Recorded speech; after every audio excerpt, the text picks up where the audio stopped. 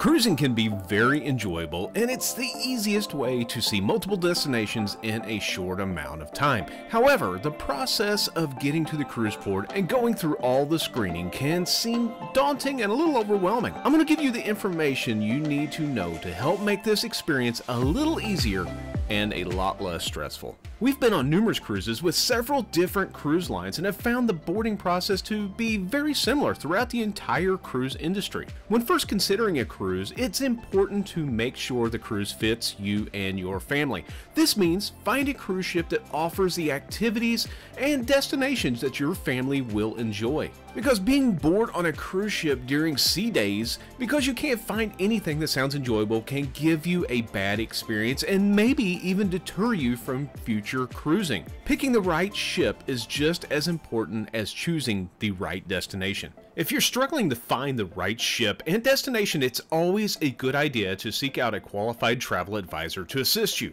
They will help guide you through the process and should have personal knowledge and experience in cruising. You should ask them if they've ever cruised before, and if they say no, well, then you should probably find a person that has that personal experience. Once you've found that perfect ship and destination, now it's time to get there. This is where the process can become overwhelming and where the travel advisor will be very beneficial. If you have time, I always recommend getting a passport for cruising. They're not required, uh, other than Virgin, they do require them.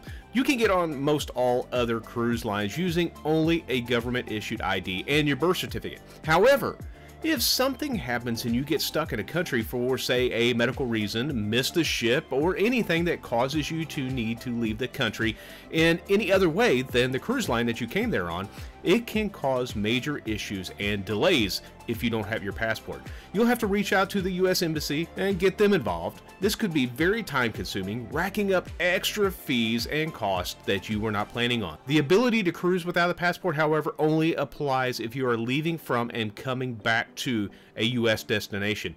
If you are cruising from a foreign port, then you will be required to have a passport. The next thing I would recommend before taking your cruise is purchasing travel insurance. I hear all the time that I'm not planning on canceling, so it'll be fine. No one ever plans on bad things to happen, but they do. Travel insurance protects you from more than just canceling. It also protects you in case of medical needs, misconnections, delays, and so much more. Did you know that most medical insurance have a fine print saying that they will not cover you in a foreign country? If you think that you are fine with the coverage you have, you could be sadly mistaken. Okay, now you have all the boring stuff out of the way and have your trip booked. Now it's time for a tip to help speed up that boarding process for later and learn a little bit more about the ship. Most cruise lines have an app where you can enter all of your information and help streamline the boarding process. This is all the medical issues, questionnaires, and stuff that they may have. You can take care of that right on this app. This will also allow you to choose things such as your boarding time, your dining time, reserve specialty restaurants and shows. It will also show you where the things are located on the ship and their hours of operation so you can help plan ahead. This app is a great tool in helping you navigate the ship and learning more about it and what there is to offer before getting on. When packing for the cruise, there are a few things that you must know to help keep you out of hot water on boarding day. One of the most common no-nos that get cruisers in trouble is bringing an iron or steamer on board. Unfortunately, these are not allowed as they are considered a safety issue and will be confiscated. Now you will get them back, but not until the end of the cruise when you disembark. Another popular item that will get you on the naughty list is a surge protector. You are not allowed to bring power cords or surge protectors on board. Those are also safety issues for the electrical system. You are allowed to bring electrical adapters, splitters, or three-way plugs to help give you some more outlet space. If you're planning on bringing alcohol or water, juice, whatever it may be, just be aware that most cruise lines have a policy on what liquids you are allowed to bring on board. This can include, you know, your alcohol, your water, your juices, etc. If you're planning on bringing on any liquids, be sure to understand your cruise line's policy before arriving to the port, because you may be required to discard these items or they may be confiscated for the duration of the trip. It's always a good idea to arrive to your departure port the day before your cruise. This way, if there are any travel delays, it gives you a cushion and can save you from missing that much needed cruise vacation. Many hotels near the port will offer free or discounted shuttle service to the port. You can typically find a nice hotel at a reasonable price for the night. This will also give you the opportunity to rest up so you're not exhausted for that first day of your cruise. You paid for a nice vacation, you should enjoy every minute of it you can. So it is finally boarding day. On your cruise documents, they will issue a boarding time. Be sure to show up at this time. It's acceptable to arrive 10 to 15 minutes early. This allows you for unloading of your luggage and a pre-check. I would not recommend showing up any earlier. The cruise lines have said that they will not let you board until your designated time. Now, I'm sure that there are some people out there who say that they showed up early and it was fine, but do you really want to take that chance and be the one sitting in the waiting room for several hours when you could be sitting back at a comfy hotel or doing something a little more enjoyable? When you're going to the port, you can take the shuttle offered by the cruise line or the hotel. Or personally, I like to take an Uber or Lyft.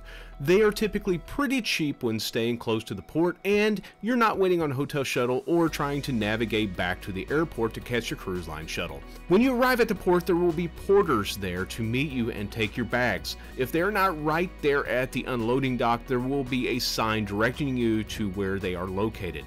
Be sure to fill out and attach the luggage tags the cruise line provided you with. This will ensure they get to your stateroom. Make sure the person taking your bags has a cruise line ID tag on them. If you see the ID tag, it is perfectly fine to give them your luggage. The porter will make sure your bags get onto the ship and they will be delivered to your stateroom sometime that evening. Make sure that you put anything you might need into your carry-on so you can have that available. This includes your IDs, uh, passports, medications, anything that you may need that you can't afford to wait on until later. Another thing to note is your room will probably not be ready until later that afternoon. When that is often depends on when the last guest checked out and disembarked and when the room stewards were able to get started on it. Most cruise lines I've been on, this has varied somewhere between 1 and 4 p.m. If you have a late boarding time, well then you may be fine. Otherwise, just keep this in mind when you're checking your luggage. Once you drop your bag off, then follow the signs to the boarding area. If you need directions or are unsure of where to go next, there are workers stationed around that will be glad to help you. Have your IDs and boarding pass readily available. You will be asked to show these several times throughout the boarding process. Most cruise lines will give you your boarding pass on the app, Others may not issue it until you check in at the port desk. Either way, you will need to have your IDs available. This process can seem stressful, but it really isn't. Just follow the direction of the workers and go into the port. You will have to go through security very similar to like you did at the airport if you flew in. You should put everything into your carry-on and send it through the x-ray machine. You will then have to walk through a metal detector. Once you gather your belongings, you will be directed to the next area for check-in. Here's where many cruise lines differ. When checking in, some will issue you your C card or your room key here. Some will send you an armband in the mail or give it to you here at the port desk. Others may have room keys on your app, or a room key may be waiting for you outside your stateroom when your room is ready. Whatever the case, the workers will inform you of that at this point. After checking in, you will be directed toward the boarding area. Follow the signs to the ship, through the gangway, and finally to the entrance of the ship. Here they may ask for your ID or your boarding pass one last time before boarding. Once you have passed this final checkpoint, you are now on this ship. Now that you're on a ship, the process is still not quite done yet. There are a couple more things that you still need to do. So as soon as possible, you need to log in and connect to the ship's Wi-Fi if you have the app. Most cruise lines have an online safety video all guests have to watch before sailing. Some are going back to the in-person briefings, but your cruise line will let you know what they expect. If you have the online safety feature, you will have to watch this video, then personally check in at your muster station. The station will be listed on the app with directions on how to get there. If you're unaware or unsure where this is, just ask a worker, they'll be glad to point you in the right direction. Be sure to do this as soon as possible. The ship cannot sail until all guests have completed the safety information and checked into their muster station. You don't want to be that one person who gets announced on the PA system for not checking in and delaying the cruise from departing. Once you have done all of these things, you are now free to enjoy your vacation. I hope you guys found this video useful, and if so, please consider subscribing. Thank you so much for watching, and we will see you on the next adventure.